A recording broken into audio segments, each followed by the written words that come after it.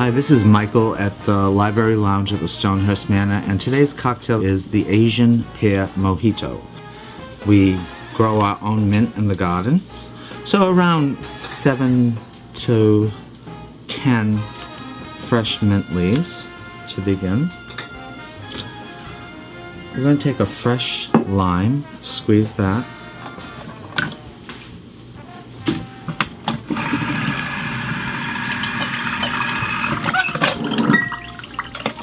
add a little touch of the fresh lime to the mint. And then add a little of Absolut Pear vodka.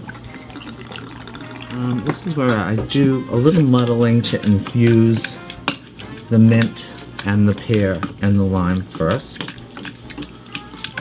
Then we're going to add a little bit of apple pucker.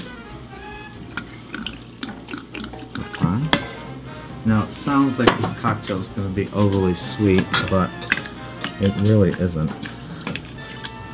So we're going to muddle the apple pucker now with the mint. And it already has the pear vodka. And then we're going to finish it with the Bacardi Limon, around uh, maybe a 9 count of that. And the limon works better with this mojito than the standard white Bacardi. So the limon just adds a little extra. So we're going to continue muddling. We add a little bit more mint. And then some a little bit of soda water. And then finish the muddling.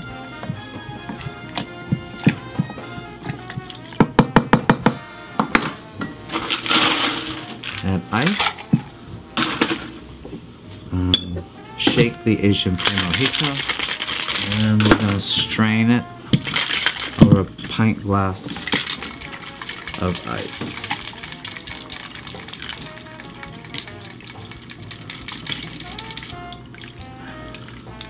Garnish it with a wedge of lime and a little mint on top. And that is the Asian Pear Mojito.